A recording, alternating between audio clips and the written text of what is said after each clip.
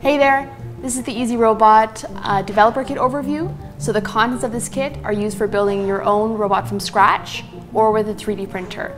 This is ideal for enterprise, education, or hobbyist users. Let's open the box and examine the contents.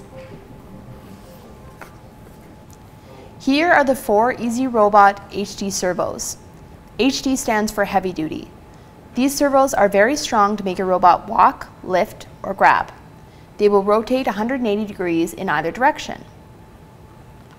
These are the EZ-Robot 360 degrees servos, also referred to as modified or continuous rotation servos. These servos spin 360 degrees in both directions like a motor. These servos are actually really fast. This is the ultrasonic distance sensor. This ultrasonic distance sensor gives your robot the ability to detect distances of objects in front of it. The sensor includes an inline 5 volt regulator, so it may be connected directly to the EZ-B V4. Here are two servo wheels for the 360 degree modified servos. These wheels can be used to move your robot. Under the wheels are an assortment of accessories, screws and servo adapters. This is the battery holder for six AA rechargeable batteries.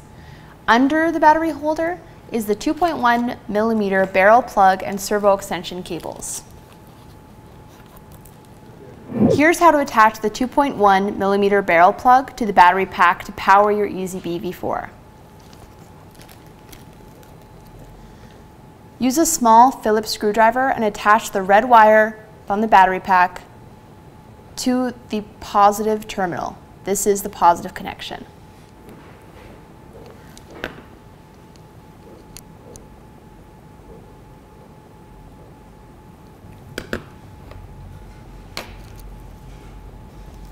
Now attach the black wire to the negative. This is the negative connection.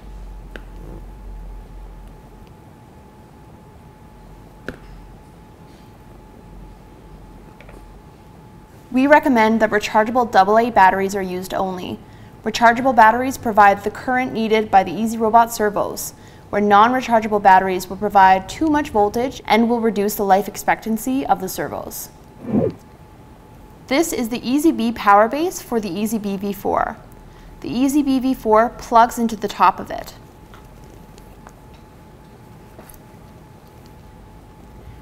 Inside the power base is a fuse for short circuit protection. This is the EZ-B V4 Wi-Fi robot controller. The top of the controller has the input and output connections for servos, cameras, and accessories. The bottom of the controller has the power plug and speaker for streaming audio and speech. This is the EZ-Robot camera.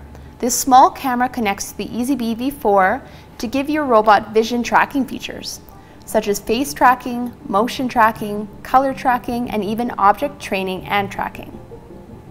If you need any further assistance, we have plenty of online tutorials and courses on our website at www.ez-robot.com.